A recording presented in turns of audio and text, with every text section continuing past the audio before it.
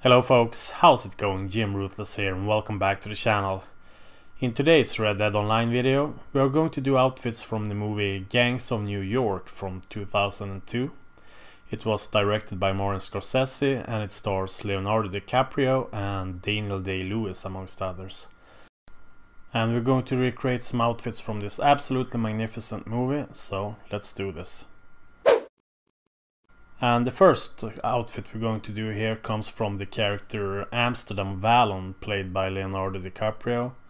And this is what it looks like. So I think we're gonna start with a shirt here. We need a white everyday shirt. And let's add some suspenders. The beige crossback suspenders. And we need a gun belt, a black horsemanship gun belt and we can remove the offhand holster. Let's give him a pair of black worn roper's boots and a pair of grey clerk pants and a brown traditional vest. And then we should add the brown everyman jacket and that cap. We can use the brown union cap. But uh, to be honest, I prefer another cap. So let's uh, switch out the hat into a brown plaid cap instead. I think this one is slightly better than the union cap. But uh, both ways works, so... And, uh, well, you can skip the vest if you want to. He wears the vest in some some scenes and others he don't so. And here we have Amsterdam Vallon. I really like how this outfit came together. It's just the color of the jacket that is a little off. In this picture right here he wore black pants but uh, throughout the movie he wore gray pants most of the time so I think uh, it works either way gray or black. It's up to you and now we're gonna do a character called Bill the Butcher Cutting, played by Daniel Day-Lewis, and this is what it looks like. And I'm gonna do two variants of this outfit. The first one might be my favorite, but it's uh, quite expensive. It's going to cost you like $1,500 to make this one, so I'm going to show you two variants. So let's do this. And well, we need to be a Moonshiner rank 20 to get this outfit right. And I'm gonna buy three outfits and combine them into one. That's why this one is going to be real expensive. And we're going to check the role outfits here and the Moonshiner outfits, the Wilkesboro. And we're gonna go with the red jacket here as the base. And then we're gonna switch out the pants into another the Wilkesboro outfit. And we can choose between these pants right here or the more bright ones. But I think we're gonna go with this one. Yeah, let's go with these. And then we need the black top hat from another Wilkesboro outfit. Otherwise you won't get the color right. Let's change the gun belt here into a 11 scan belt in black and we can add a cool looking buckle as well. And here we have Bill the Butcher Cutting, played by Daniel Day-Lewis. Yeah, $1500 and two gold bars later. But uh, this is a real cool outfit. I really like this one. Very posh. but uh, let's do the cheaper version of this outfit. Uh, well, I still think you need to buy one of the Wilkesboro outfit to get the right hat here. Because we're gonna use the, the Wilkesboro hat. It's the perfect hat for this outfit, the black top hat.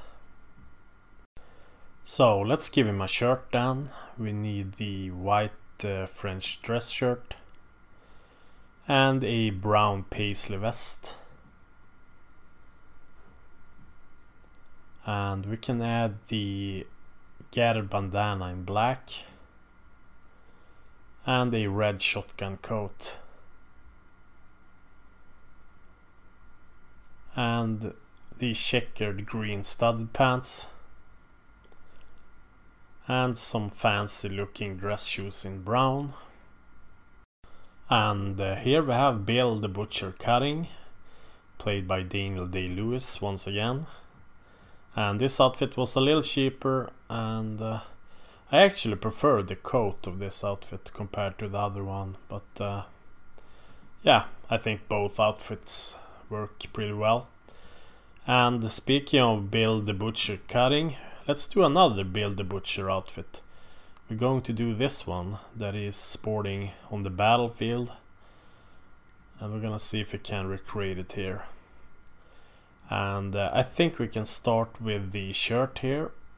We need a gray color overshirt. And a brown Lancer vest.